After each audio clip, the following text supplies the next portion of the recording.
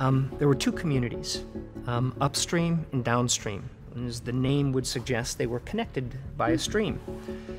And the good citizens of downstream were um, uh, enjoying a, a wonderful summer, and all of a sudden they began to find bodies in their stream. Some of them were, were already drowned, some were struggling, uh, some were um, trying to swim as, as hard as they could to the shore.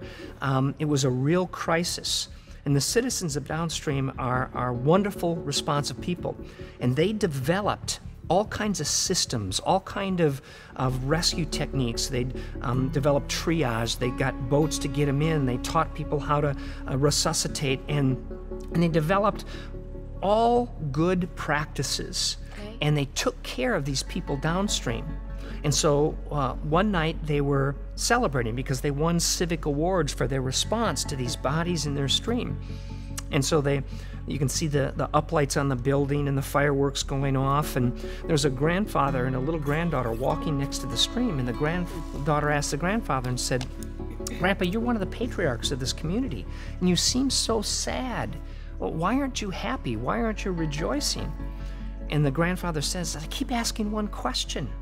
Nobody answers that. And the granddaughter goes, What's that question? And the granddaughter and the grandfather says, Well, how did the bodies get in the river in the first place? You see, upstream, the bridge was out. And so, um, one of the ways that I, I look at um, as a pastor and dealing with anxiety is it's very good to have all the practices we talked about the here and now thinking, the worry cards, the snapping of the wrists, wrists um, uh, all of the techniques, uh, the exercise, and those are like the practices. But the truth is, the bridge is Jesus. And, and the bridge is out in a lot of our lives. If we look upstream and we recognize who this person of Christ is, not in a storybook, not as someone told me, but for themselves, that's the bridge, is, is Jesus. And so most of us want to spend a lot of time working downstream, and it's good and it's right. But I believe the real cause of the anxiety and the worry is, is upstream.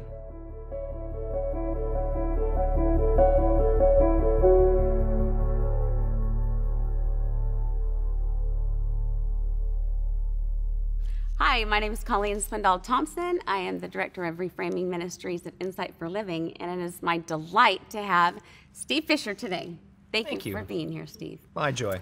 We are talking on a subject that is touching almost everyone around the world, and that is anxiety. Most recently, a study that I read recently was on anxiety, relating to 70% of doctor visits hmm. have at the core anxiety as the problem, even if they are seeing a doctor for cardio issues, mm-hmm. for um, back pain, arthritis, or any other kind of physical challenge.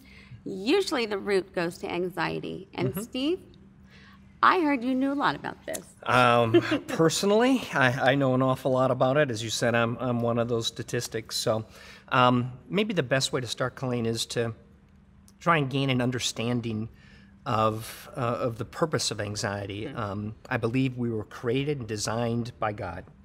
And He doesn't make mistakes, He doesn't make errors, that His creation is indeed perfect. And so you wonder, um, Lord, w- why did you give me this response? Well, why is this thing called anxiety at uh, uh, almost an epidemic level um, for a good and, and uh, benevolent God, what, what is the purpose of this? And, and the truth is, when you understand the physiology of anxiety, um, it makes sense. And, and so uh, I believe God loved us so much that He built in us this um, warning system. And, and that's generally what anxiety is. Anxiety is like um, an emotional radar that hmm. goes out and it scans the horizon for anything that could be a threat, a danger.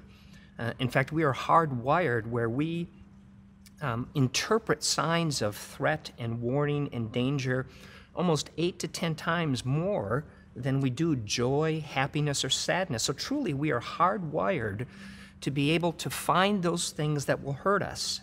And, and that is really a, a brilliant design. It's a, it's a protective mechanism. So um, our minds go out and we scan the horizon for people, places, and things that, that may be a threat.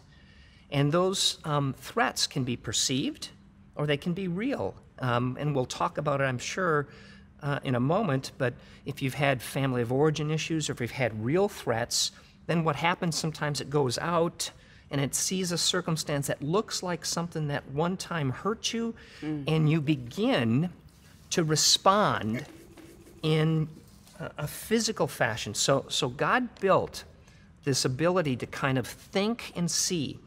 And if it finds threat or if it perceives threat, the mind, what happens is physiologically our bodies get ready for what's called the fight or flight response. And it's a brilliant design. Our, our heart rate goes up, our blood pressure goes up, um, blood gets shunted from um, areas of the body that um, aren't in need of it as much to vital organs. Uh, fat gets dumped in our bloodstream so we have usable energy. Our pupils dilate, yeah. meaning our body is ready. Our heart rate starts beating more. Our body is ready to fight or it's ready to run. And that's a brilliant survival technique. And that's what anxiety does. And God built it and said, Look, I'm going to give you a system hmm. that will prepare you, that will protect you. Now, now here's the difficulty is that that works really well when it is a physical threat where you really do have to fight or right. flee or right. run from some um, threat. But nowadays, in our society, we aren't running from saber-toothed tigers. Mm. We, we aren't running most often from people that are trying to hurt us. We're running from um, the boss that is hard on me walking down the aisle. So my, my heart rate goes up. It, it sees the boss coming. It knows that the boss yells at me. So all of a sudden, our body is prepared now to take action, but we're sitting in our cubicle. It's the same way when a, a wife is at home and, and there's been a domestic violence incident and, he, and she hears her husband's car in the driveway, and automatically, yep. her anxieties kick in. Here's the car, that's my husband, my husband hurts me. And so she's being prepared to take action. But the mm-hmm. problem is she's just sitting, preparing dinner, and not running or fleeing. She's sitting there. And so, so God has built this warning signal that prepares our body to do something. The difficulty is, is that many times now, there isn't what we call a concomitant use for that. Meaning you're just sitting in your cubicle, you're sitting at home preparing dinner, but yet it's preparing. And so you, you ask, okay, God, that, that, that's a wonderful survival skill, and, and it truly is. And, and, again, I know we'll speak about it uh, a little bit more, but uh, to, to kind of really say, lay the platform for what we'll talk about, I believe God says, look, I love you, Colleen, so much that I'm going to give you this system to help protect you. And that's going to help you survive. But Colleen, if you really, really want to thrive, if you really, really want to live, you've got to suspend your nature because that is the nature, the natural part God mm-hmm. gave us to mm-hmm. protect us. And God says, I want you to suspend your nature and I want you to trust and believe in your a supernatural, your super nature, meaning the anxiety response comes from the lower and mid part of our brain, where we don't really even have to think about that. That threat comes in, and all of a sudden our body is there. Isn't it part of the autonomic nervous and system? And it, it, gets us absolutely prepared before mm-hmm. we even know about mm-hmm. it. That's the brilliant design. Mm-hmm. And so God says, Look, I, I gave you this, but I love you so much. I want you to live, I want you to thrive. So we have to learn how to um, shut down, if you will, this perception of threat. And he said, I gave you a supernature, meaning the part of the brain, the top part of the brain is what God gave us and didn't give the animals. And in that part of the brain is where we can, where we develop reason and where we develop insight and where we develop the ability to discern. So, so understand this. Um, uh, a woman is maybe in her second marriage. Her first marriage, she was in a domestic abuse problem. Okay. Car would come in, heart rate would go up, and bad things would happen. Um, she is remarried. And now the husband comes home, a wonderful man, loving man, supportive. Car pulls in the driveway. Her response goes up. But now, if she's using what God has given her, she's able to say, wait a second. That was my first marriage. My husband, as he loves me, he cares for me. Meaning she's beginning to use the reasoning God said. And it comes from the, the verse in Scripture of Romans 12, 2, by the renewing of our minds. And if you look at, at Scripture, God is constantly talking about um, take each thought captive, think on these things that are good and right. Um, the game of life is played between the ears. God built us that way, He designed us that way. So, uh, long answer to a short question, but to understand that the anxiety is a result of my perception and the response is part of what God gave us to protect us. But then He says, Look, there's another way. You can use what I gave you and you can help choose is this something to worry about? Is this something to not worry about? Is this really a threat? Is this not a threat? And that's how we begin to treat and be, we begin to cope with anxiety. But from the platform, God has built us, help us aware to protect us, but He calls to us and says, um, if you really want to live, if you really want to enjoy life, um, trust me. Bring me your worries, bring me your fears. Think about it differently. And that's one of the ways that we begin to deal with um, anxiety uh, from a biblical standpoint. Well, my question is mm-hmm.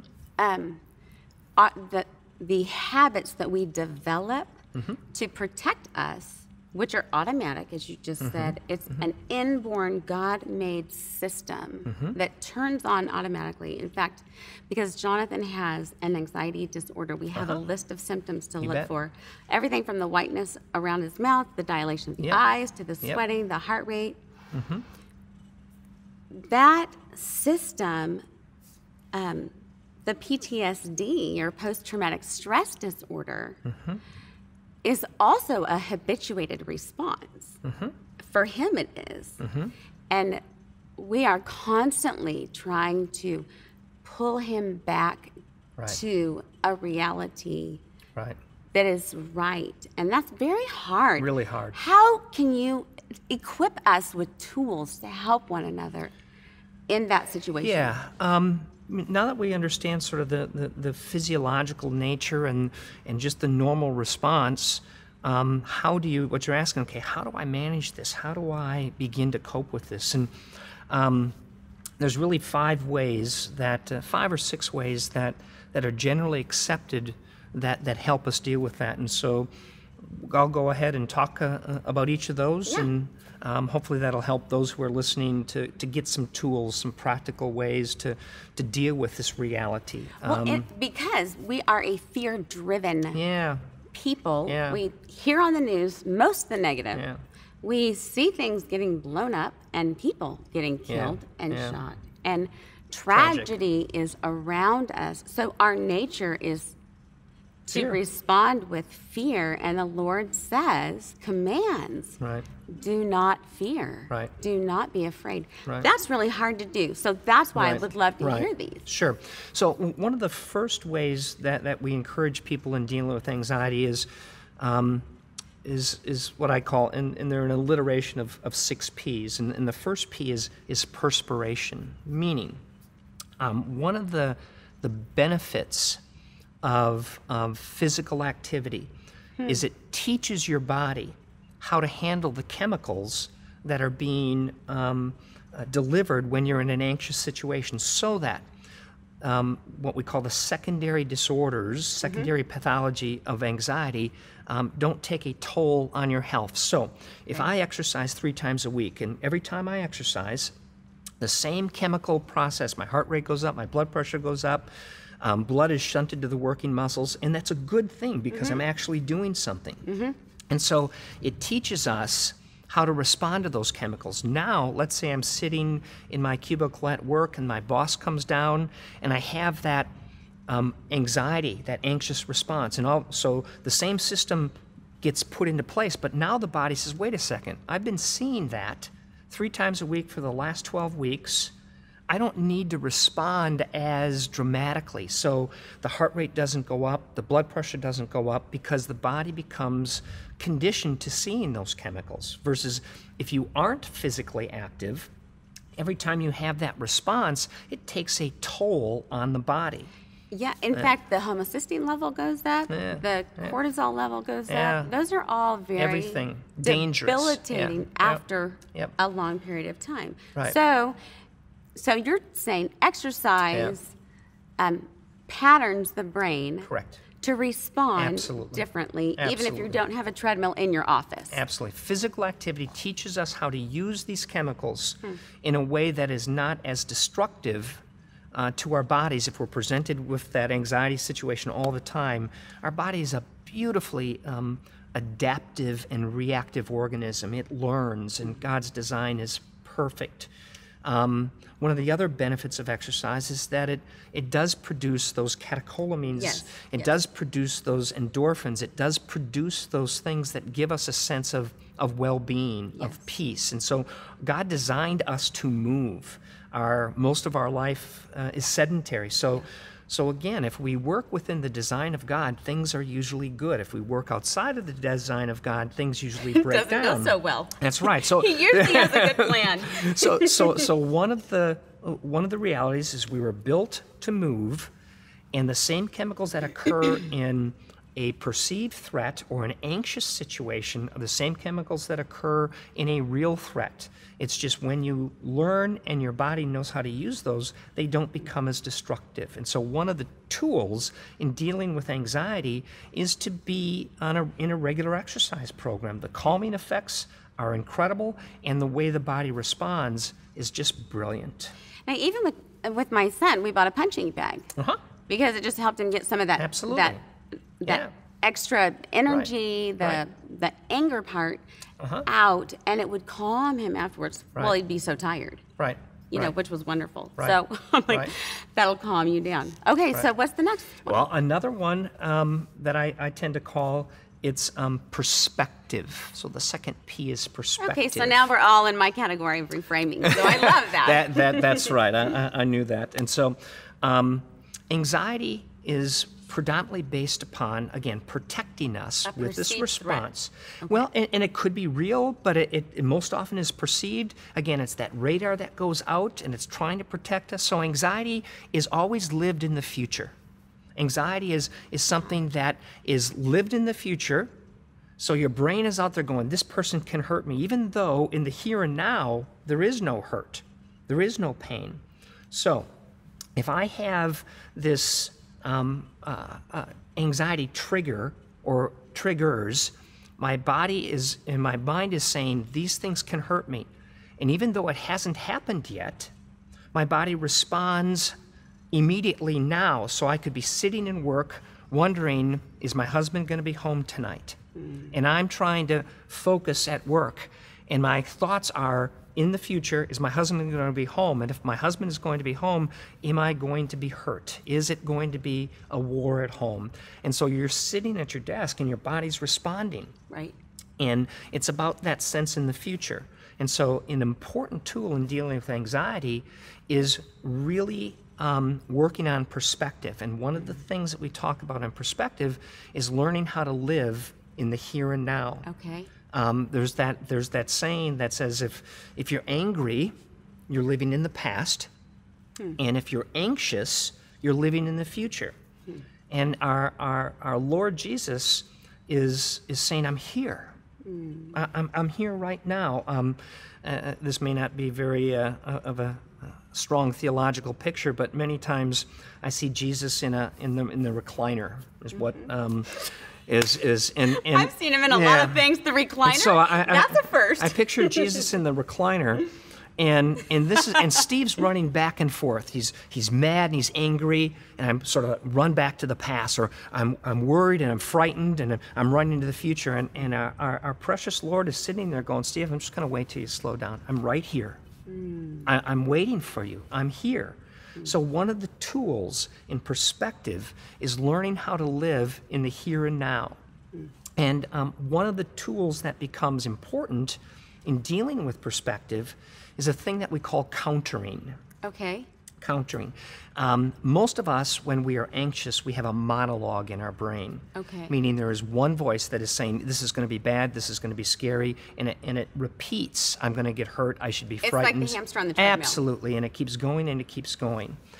Um, what breaks my heart, and I came to Christ a little bit later in my life, and one of the beautiful things that I understood about my relationship with Christ is when I accepted Jesus as my Savior um, what came to dwell in me is the Holy Spirit, the third person of the Trinity.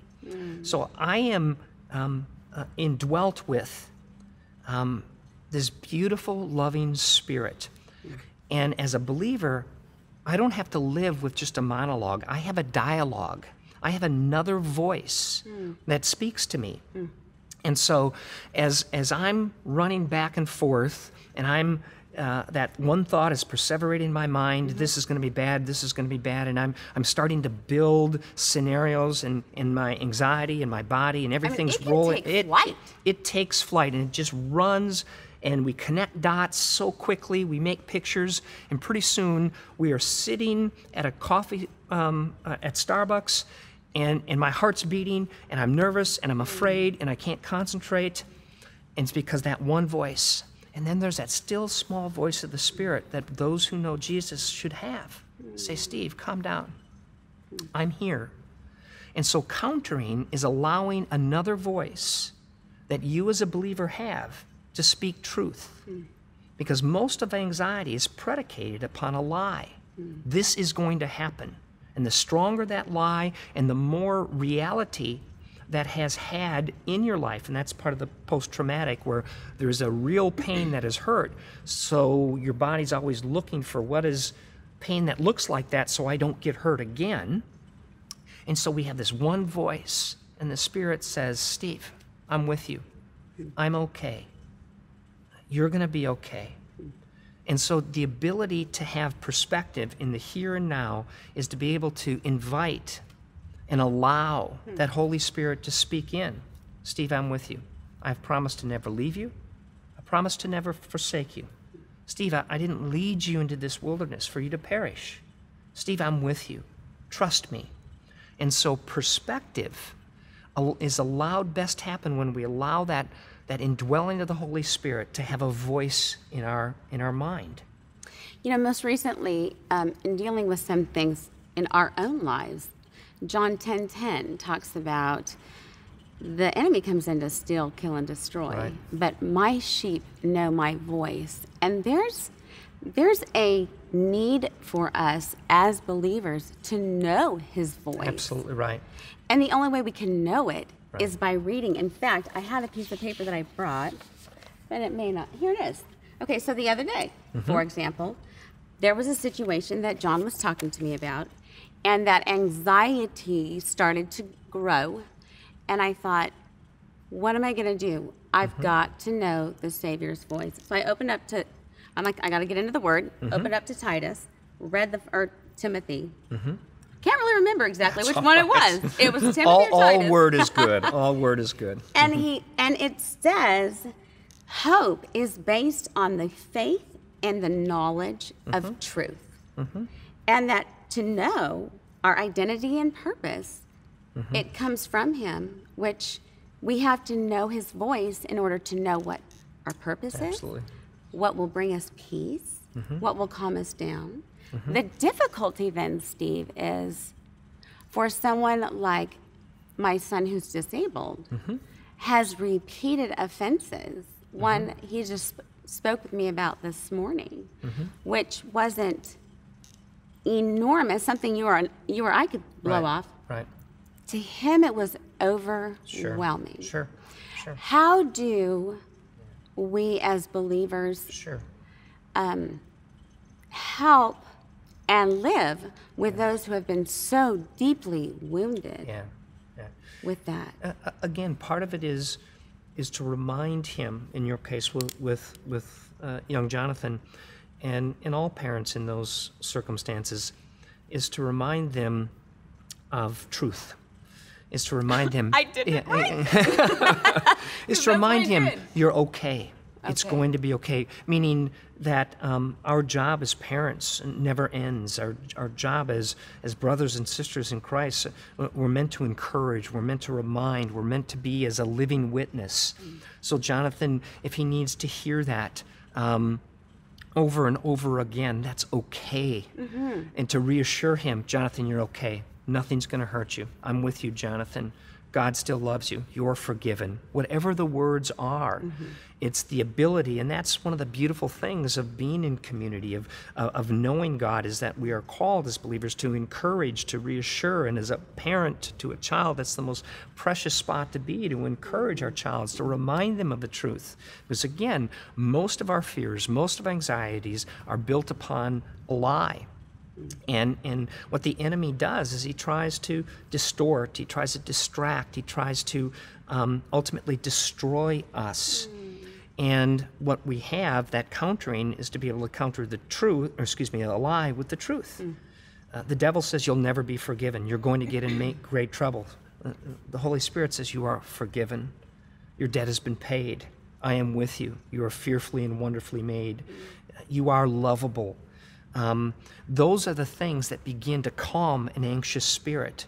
A, a, the sweet, true voice of Scripture. And sometimes it's read, um, uh, we can read it from the Word. Sometimes we hear it in a song. That's where music is so beautiful, where we can hear a song and, and that song calms our heart because that song, that hymn is built upon the truth of Scripture. And so there's that calming. Sometimes it's a, it's a parent, sometimes it's a friend.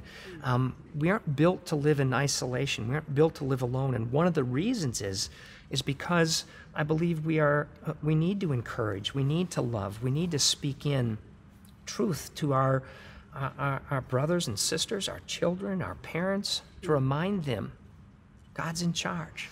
It's interesting. A couple days ago, I was speaking with a friend, and uh, the friend was in therapy for PTSD, mm-hmm. and the therapist said, because this is part of physiology as mm-hmm. well, mm-hmm. he said, when you're living in the past or the future and you need to return to the now, stop and pick out every color you see and say it out loud. Sure, sure, Or another tool was um, put your hand in ice. yeah, That'll wake you up. And even move. sure. Jump up and say stop. And the brain almost does a reset. Right, and and that's that's really one of the third things. So we have um, uh, perspiration, we have perspective, Okay. the here and the now, and then we have what we call practices. Okay. And practices are exactly what you're just saying. Another one is. Um, uh, uh, those wristbands that are popular now Mm-hmm. uh, have been popular for a while. Uh, the WWJD type bands. All right. Uh, you'll see a lot of people Sean has an armband carrying those, and and and one of the techniques, one of the practices would be to snap that band. So you're worrying, you snap the band. Um, all of those, those resets, as you call those reboots, are to stop. Remember, I talked about that thinking, that monologue Yes. thinking. What it does is it interrupts um, that type of thinking with enough. W- wait a second. There is another way to think. God is sovereign. God didn't leave me alone. Or I don't have to worry about that now. Or this isn't happening now. So the practices of dealing with anxiety involve typically breaking that monologue, breaking that obsessive thinking that begins to sort of wear that mind down and wear your resistance down. And so, um, snapping, putting your hand in water, picking out a color, um, standing up and moving. Another one is a practice we have is uh, I'll have people, and now in this electronic age, it's a lot easier, but um, they create um, uh, worry times. And what they do is they carry a Yeah. card. Okay. And every time I, I, I wonder how I'm going to pay my mortgage, and it's I'm supposed to be working and, and attending. So you write that on a card, and you give yourself, okay, from six to six thirty tonight, I'm going to worry, and you take out all those cards, and you just worry the fire out of it, you know, at that point, and, and you say, okay, this is it, and then done. So you discipline yourself. Absolutely. Where you give worry its space, but you create, you become, um, uh, you allow yourself to be in control of it instead of it being in control of you. And, and there are several people that I talk, and one of the beautiful things of our cross, God says, lay your burdens at my feet.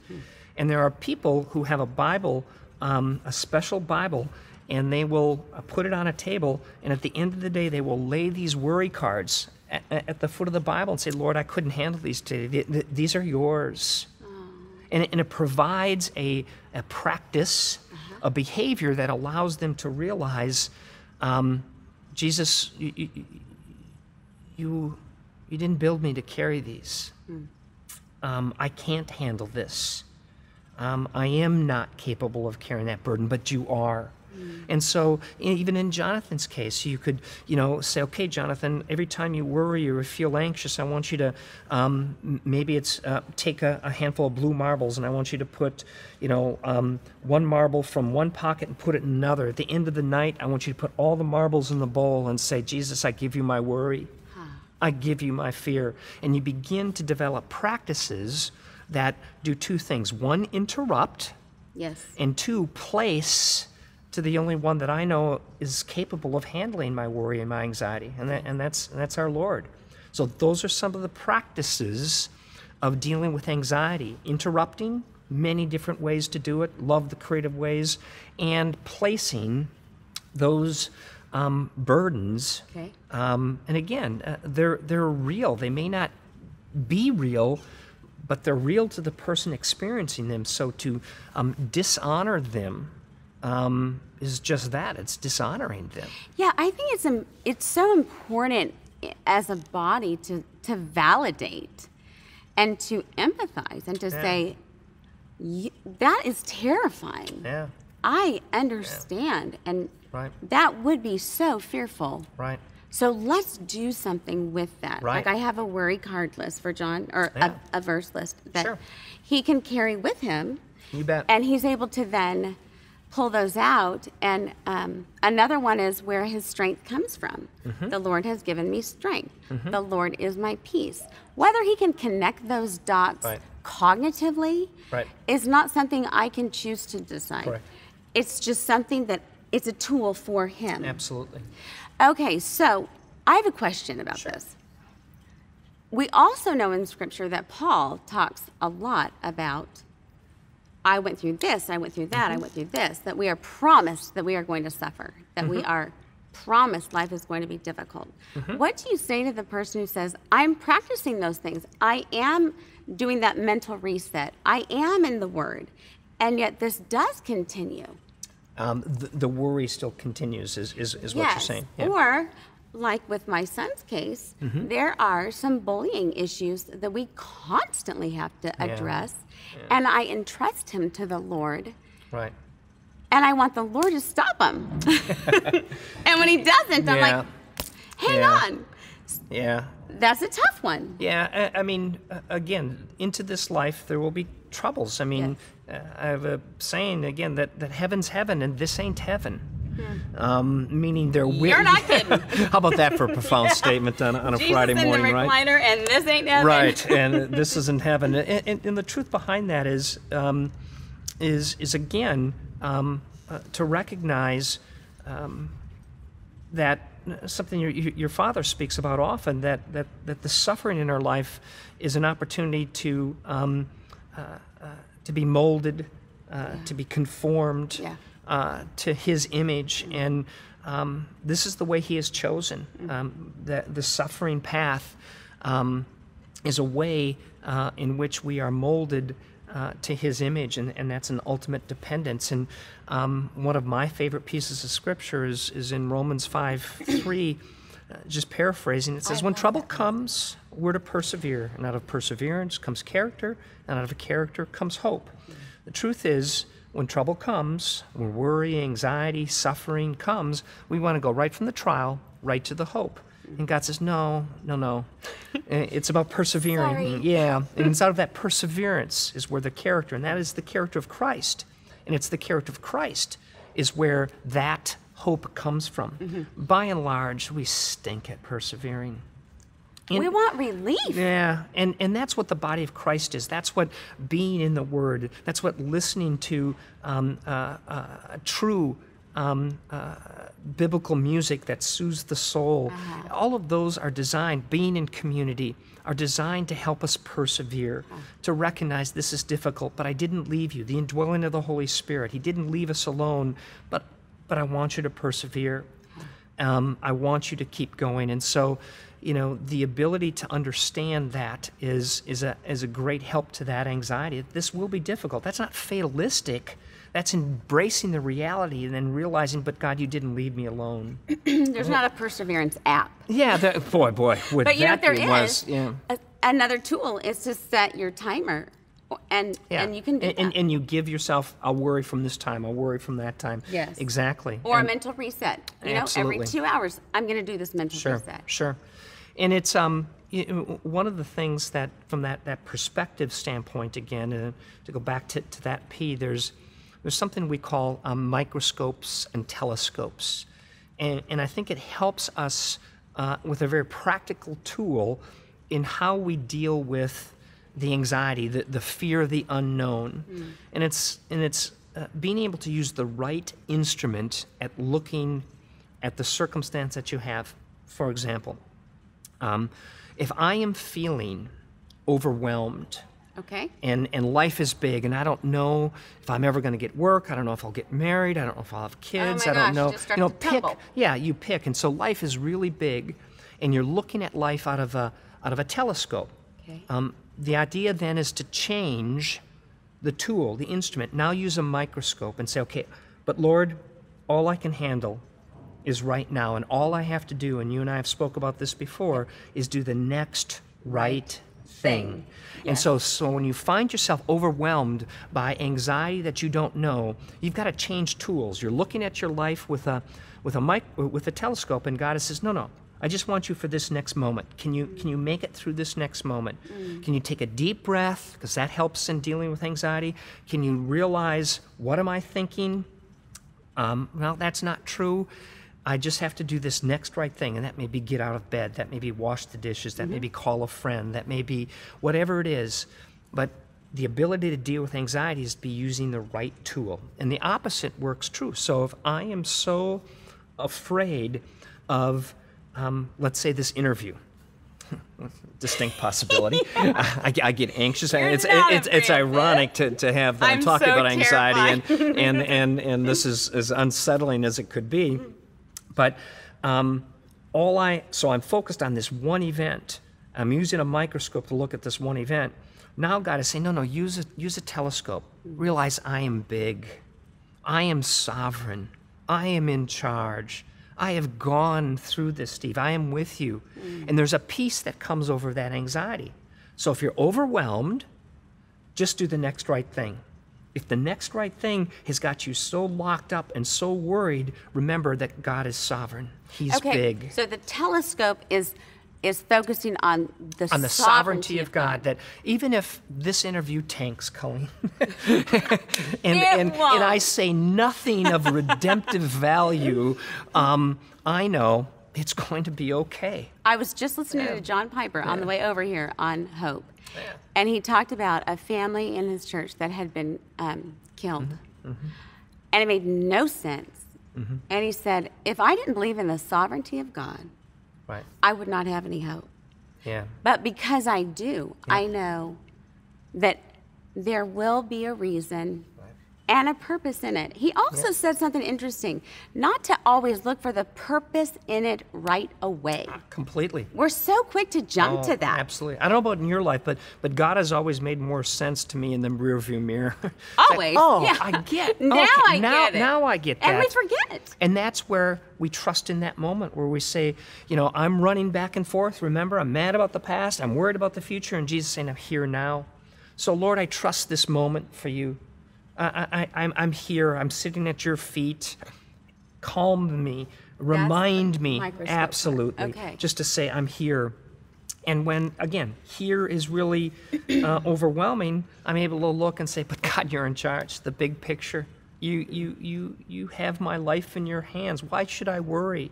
You've been back. I've seen where you've come through. I've seen how I thought it was over and you have shown up. You have been present.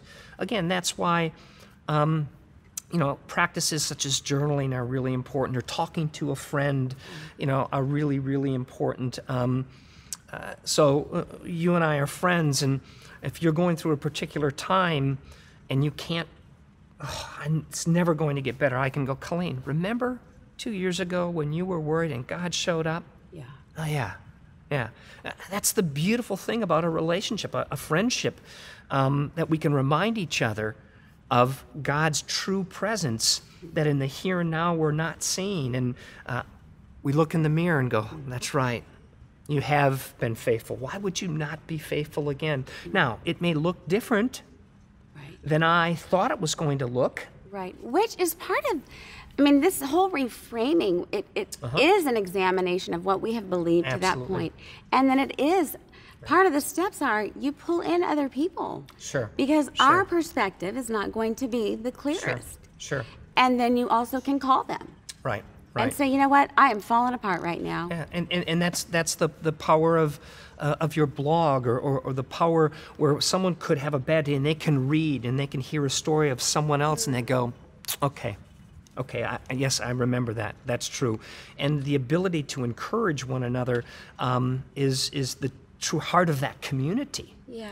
and and it takes so many different forms. Um, my greatest prayer before I come on uh, came to sit with you today would, um, if indeed this this does make some type of air that someone in Massachusetts or Wyoming would get a glimpse and hear us talk and go, okay.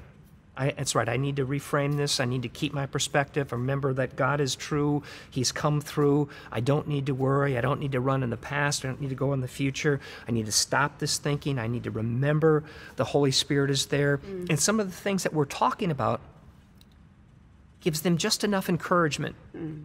to do that hard thing I talked about, and that is to persevere. Mm.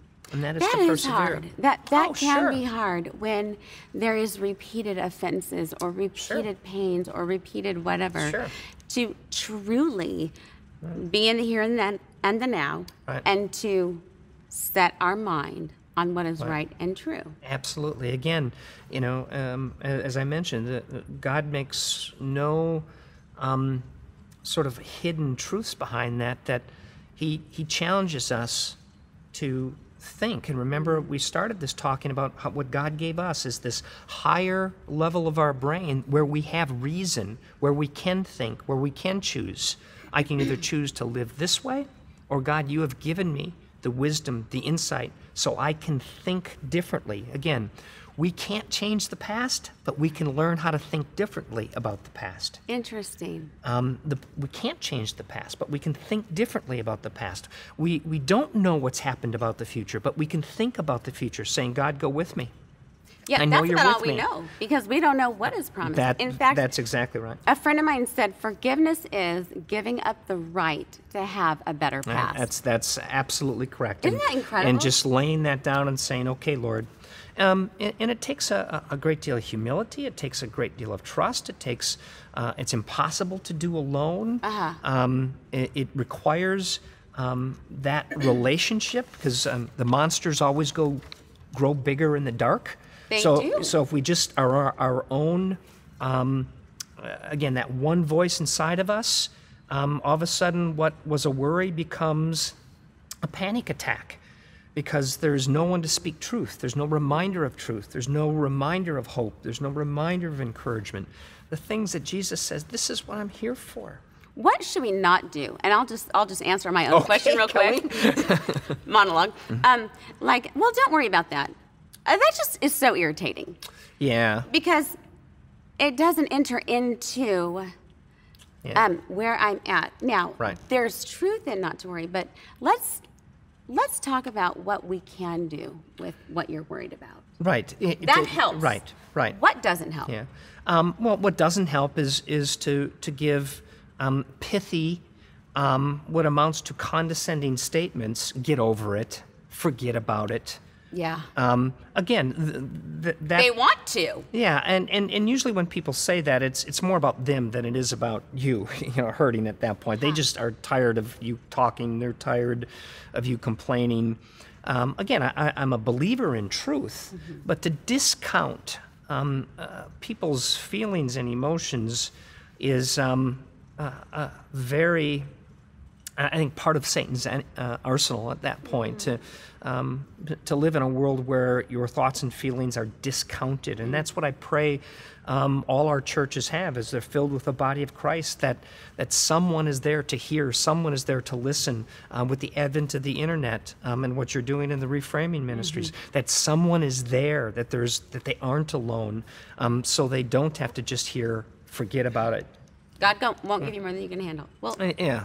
Well, He does. Yeah. So we can call upon the Holy Spirit. Yeah. That, that there's nowhere in Scripture that that that, that is spoken through. I mean, it's all about Him giving us more, so we can bend our knee. It's and, kind of and, offensive. And turn, like, yeah. Did I go to the cross yeah. for that? Right. The, the, those are you know so pithy, short, abrupt answers. Hmm. Um, really don't help a great deal. Again, but there is truth. Sure. There, there is a challenge to say, okay, Colleen, this is what you're worried about. Now let's, what I call, play the tape forward. Mm. Let's let's run this out. So you're worried about this. What if this doesn't happen? Or are you sure this is going to happen? Huh.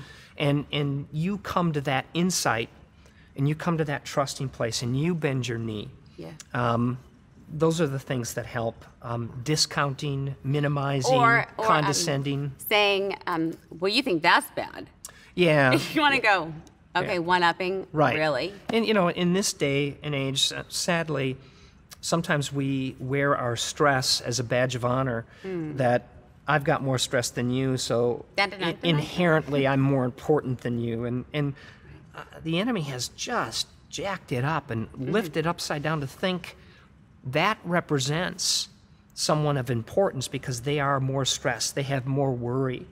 Um, how sad is that? Yeah. Um, but that's what we do. We one up each other, we discount each other. So those things that don't help are usually those things that minimize the okay. person because God created everyone fearfully and wonderfully made with yeah. a purpose and a reason and a design. So, um, those become uh, discounted.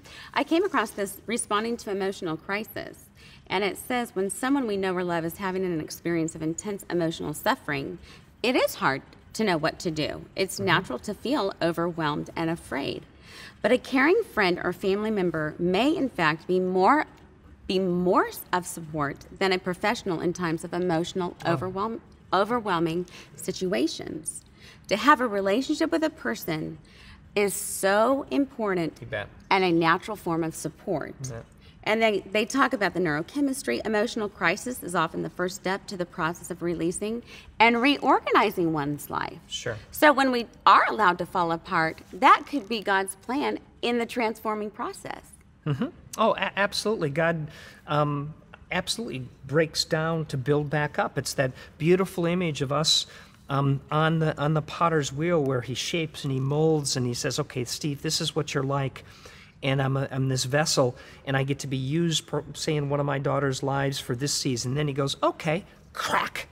Now I'm going to reshape and reform you and remold you because now I, I need you to be this type of vessel for your family. Yes. How can the church become more um, comfortable. I know that to be comfortable with another suffering, you have to be comfortable with mm-hmm. yourself. Mm-hmm. How can we become more comfortable to embrace someone who's just messy? I hate yeah. falling apart, yeah. but yeah. the reality is, I do. Yeah, and, and I, I, honestly think, Colleen, that the churches are uh, are getting better at that. I, I, I, really think that we are recognizing that. Um, uh, it is important to, to enter into the messiness, and it's important to not um, be so um, uh, dismissive. Yeah, d- dismissive of that. And um, I think churches are becoming more accepting of that, and, and I think there's ministries that are developed out of that, and, and people are just recognizing the fact that you know it, it's good and right to care.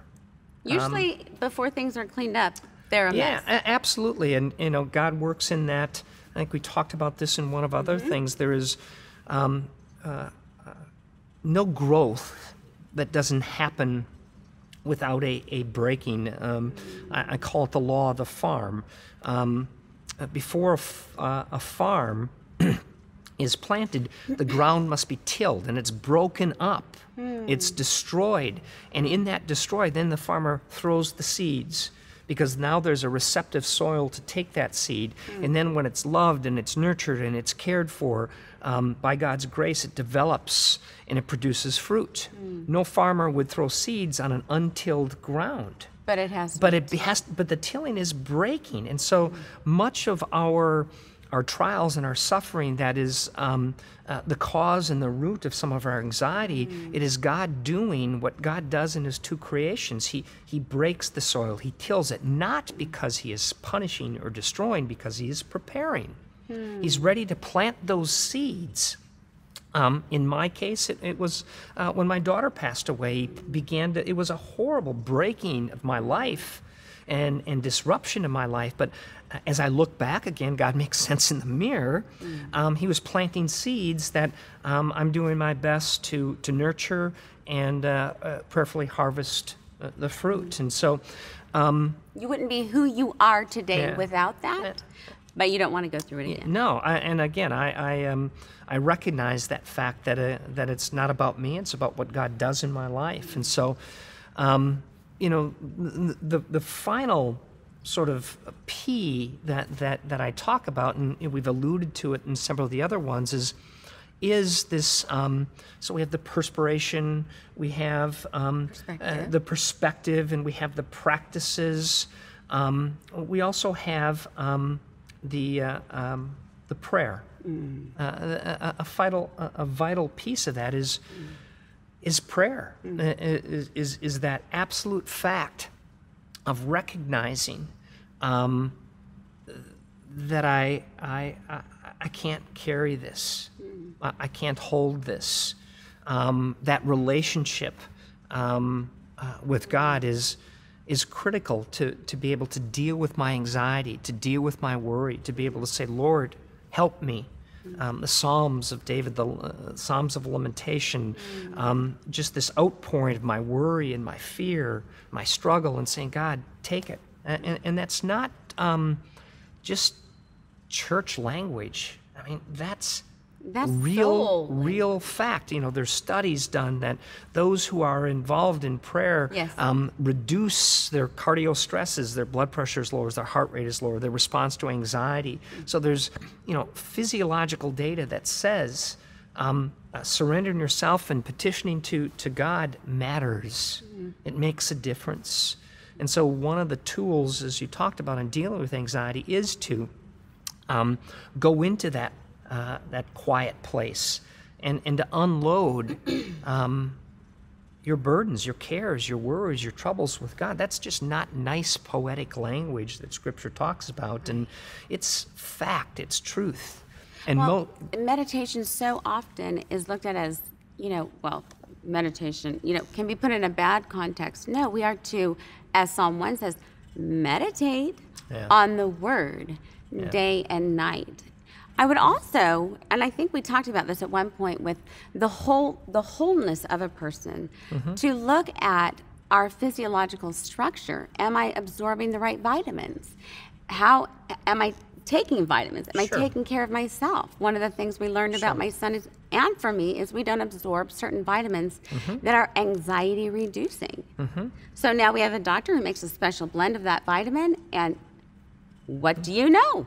Yeah, God better. didn't didn't create us compartmentally. He created us in harmony, Mm. and our, our our thoughts, our mind, our emotions, our our body, they all work in in beautiful in beautiful beautiful harmony. And um, uh, you know, I have that that saying that in all of God's creation, uh, from his farthest star to his farthest planet, God has created no greater distance than that from a man's head to his heart. I believe these 12 inches are as, are, are as far as, as God has ever created. And it's about the ability to take the truth in Scripture, the truth the Holy Spirit whispers, to know that, but then to bring it into our heart and to realize God's in charge.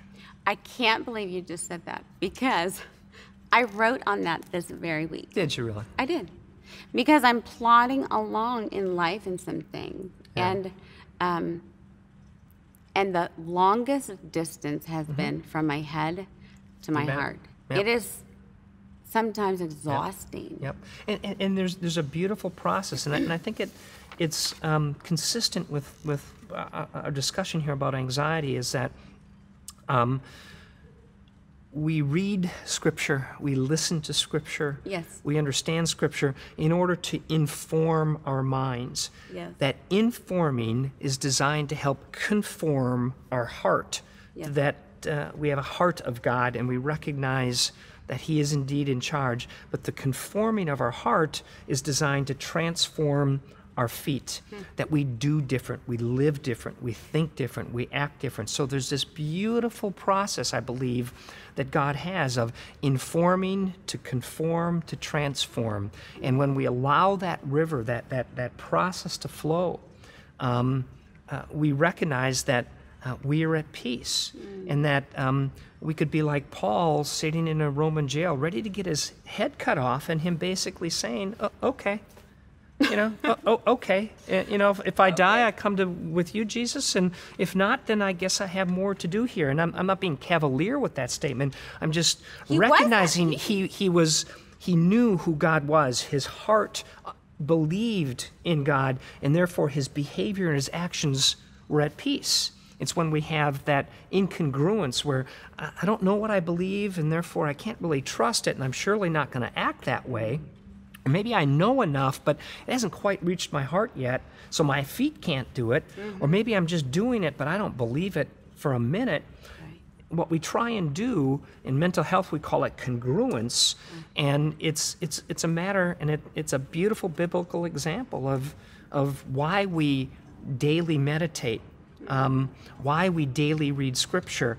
And there are some days where I just read it, and I don't know necessarily why I'm reading it, but the best analogy is that to an athlete um, who practices, let's say, free throws day in and day out, um, because when he gets in the game, he wants to know. He doesn't have to think. He just wants to respond because he's been informed, his heart is conformed, and his body is transformed. He knows what's truth. So now, when I get in an anxious situation, if I am indeed in the Word, I'm talking to mm. people, I'm listening, I'm praying, again, that anxiety is less because I know.